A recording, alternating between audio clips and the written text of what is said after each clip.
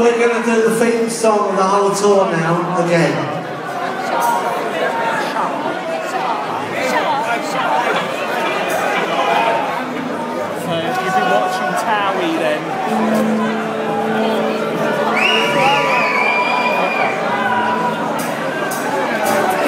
So you.